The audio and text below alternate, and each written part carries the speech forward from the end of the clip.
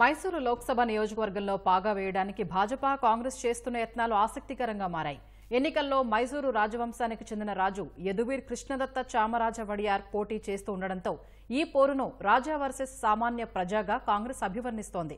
రాజుతో పోటీ పడుతున్న సామాన్యుణ్ణి గెలిపించాలంటూ ప్రజల మద్దతు కూడగట్టాలని చూస్తోంది. అటు రాజు వడియార్ కూడా ఎలాగైనా గెలవాలన్న పట్టుదలతో ప్రచారంలో దూసుకుపోతున్నారు. స్పష్టమైన కన్నడ మాట్లాడుతూ ప్రజల మెప్పు పొందుతున్నారు.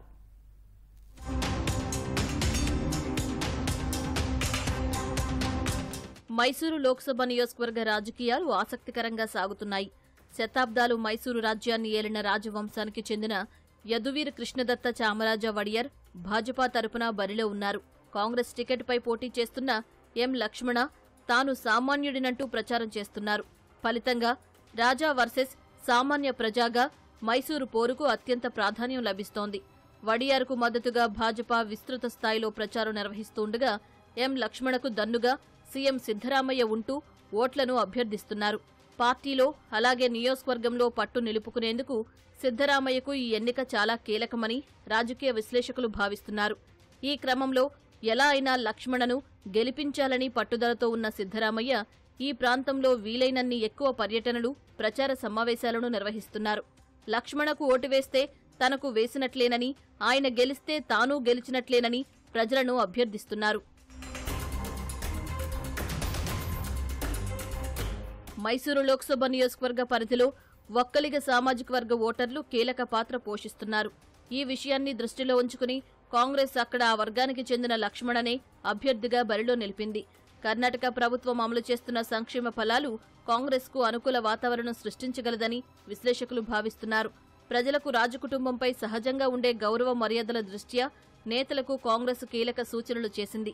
నియోజకవర్గ పరిధిలోని అసెంబ్లీ సెగ్మెంట్ల వారీగా నేతలతో భేటీ అవుతున్న సిద్ధరామయ్య వడియార్పై అవమానకర లేదా పరువుకు నష్టం కలిగించే వ్యాఖ్యలు చేయవద్దని స్పష్టమైన ఆదేశాలు ఇచ్చారు.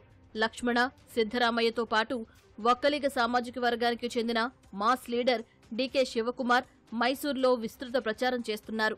సామాజిక వర్గ నాయకులతో సమావేశాలు నిర్వహించి మద్దతు కూడగడుతున్నారు.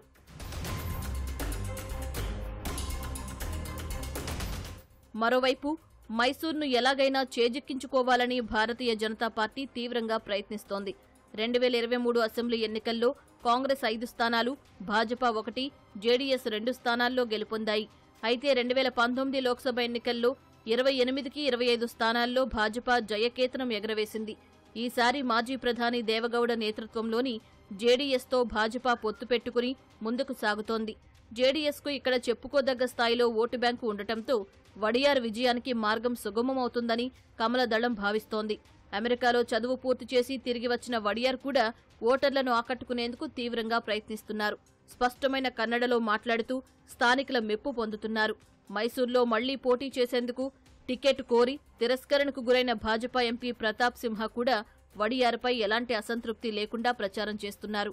అటు ఒక్కలిగ సామాజిక వర్గాన్ని కూడా ప్రసన్నం చేసుకునేందుకు భాజపా వ్యూహాలు అమలుపరుస్తోంది.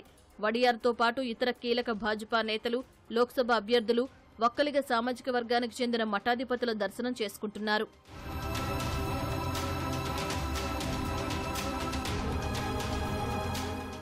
ఎన్నికల నేపథ్యంలో వడియార్ రాజకుటుంబ నేపథ్యం ఆస్తులకు సంబంధించి వారికి రాష్ట్ర ప్రభుత్వంతో ఉన్న న్యాయ వివాదాలపై ఆసక్తికర చర్చ నడుస్తోంది. రెండు దశాబ్దాలకు ముందు మైసూరు రాజకీయాల్లో క్రియాశీలకంగా ఉన్న రాజకుటుంబం తర్వాత ప్రత్యక్ష ఎన్నికలకు దూరమైంది.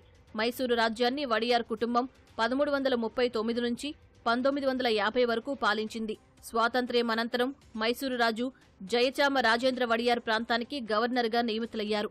తర్వాత ఆయన కుమారుడు ఇరవై ఆరవ వారసుడు శ్రీకంఠదత్త నరసింహరాజు వడియార్ పంతొమ్మిది వందల డెబ్బై నాలుగులో నామమాత్రపు రాజయ్యారు. తర్వాత ఆయన కాంగ్రెస్ తరపున మైసూర్ ఎంపీగా గెలుపొందారు. పంతొమ్మిది వందల ఎనభై నాలుగులో తొలిసారి కాంగ్రెస్ టికెట్పై శ్రీకంఠదత్త గెలుపొందారు. పంతొమ్మిది వందల తొంభై ఒకటిలో ఆయన భాజపా నుండి పోటీ చేసి ఓడిపోయారు. తర్వాత మళ్ళీ కాంగ్రెస్ నుంచి పంతొమ్మిది వందల తొంభై ఆరు పంతొమ్మిది వందల తొంభై తొమ్మిదిలో మరో రెండుసార్లు పార్లమెంటుకు ఎన్నికయ్యారు. రెండు వేల నాలుగు నాటికి అక్కడ మార్పు గాలి వీచింది ఆ సంవత్సరం ఎన్నికలలో శ్రీకంఠదత్త వడియార్ ఓడిపోయారు. ఎన్నికల్లో డబ్బు ప్రాబల్యం పెరగడం కుల సమీకరణాల వల్ల రాజకుటుంబం ఎలక్షన్లకు దూరం జరిగింది. అదే సమయంలో రాజకుటుంబ ఆస్తులకు సంబంధించి కర్ణాటక ప్రభుత్వంతో న్యాయ వివాదాలు నెలకొన్నాయి. రెండు వేల పదమూడులో శ్రీకంఠదత్త వడియార్ మరణంతో రెండు వేల పదిహేనులో యదువీర్ కృష్ణదత్త వడియార్ మైసూరు ఇరవై ఏడవ రాజుగా పట్టాభిషిక్తుడయ్యారు ఆయన తల్లి ప్రమోదాదేవి యదువీర్లు రాజకీయాల్లోకి రావాలని పలు పార్టీలు ఒత్తిడి తెచ్చాయి. బెంగళూరు ప్యాలెస్తో పాటు చుట్టుపక్కల స్థలాలను స్వాధీనం చేసుకునేందుకు జనతా పరివార్ ప్రభుత్వం పంతొమ్మిది వందల తొంభై ఆరులో ఒక చట్టం తీసుకొచ్చింది. అప్పుడు ప్రస్తుత సీఎం సిద్ధరామయ్య ఆర్థిక మంత్రిగా ఉన్నారు. ఈ చట్టంపై మైసూరు రాజు కుటుంబం కర్ణాటక హైకోర్టుకు వెళ్ళింది ఆ సమయంలో ప్రభుత్వ నిర్ణయాన్ని హైకోర్టు సమర్థించింది. దీంతో రాజు కుటుంబం సుప్రీంకోర్టు తలుపు తట్టింది. అప్పట్నుంచి ఈ విషయం కోర్టు పరిధిలోనే ఉండిపోయింది. రెండు వేల పదిహేనులో సిద్ధరామయ్య ముఖ్యమంత్రిగా ఉన్నప్పుడు ఈ సమస్య మళ్ళీ తెరపైకొచ్చింది.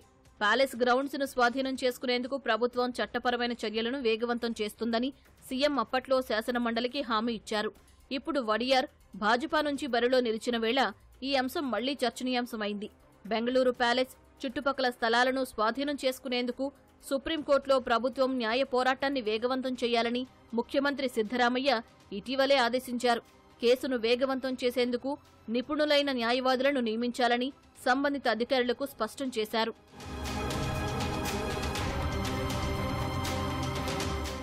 ఎన్నికల్లో తొలిసారి పోటీ చేస్తున్న యదువీర్ కృష్ణదత్త చామరాజ వడియార్ ఆస్తుల విషయంపై ఆసక్తి నెలకొంది. నామినేషన్ సమయంలో ఆస్తుల విలువ మొత్తంగా నాలుగు కోట్ల తొంభై తొమ్మిది లక్షలుగా కృష్ణదత్త ప్రకటించారు.